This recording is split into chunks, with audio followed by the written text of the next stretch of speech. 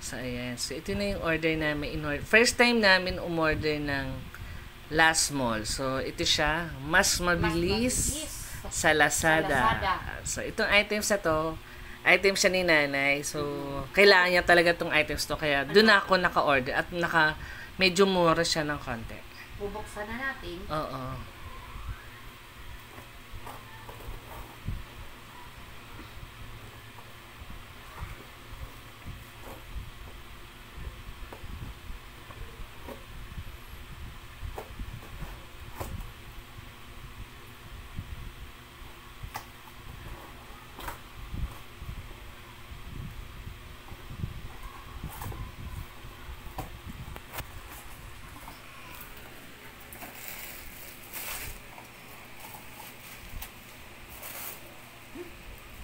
Meron pang lobo.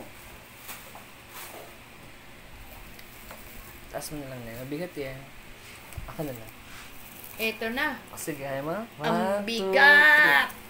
Oh, mabigat. Ayan. So, yan yung in-order namin. Pocari Sweet, baka naman. So, 2 liters agad. Tapos, ah dalawang piraso kagad yung in-order namin. Kasi, kailangan talaga ni nanay nitong Pocari Sweet. Mababa yung kanyang potassium.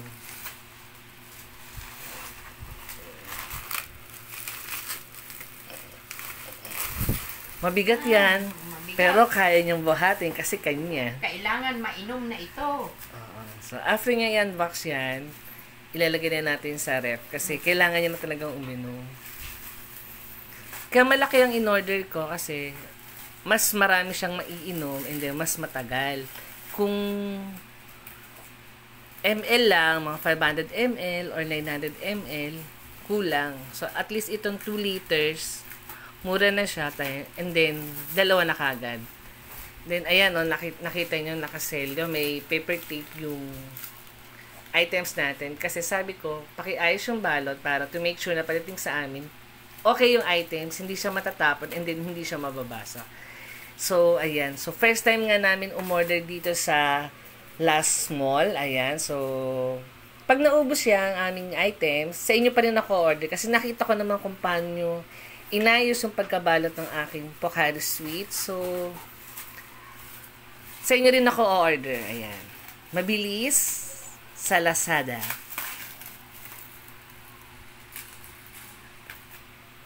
Talagang tikta-tikta dati.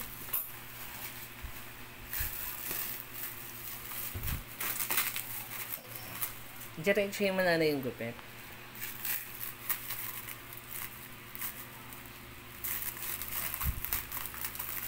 Hmm. Ano ba yan? Mabigat kasi. Ayan. Talagang kinip talaga ng gusto. Hmm. Yan.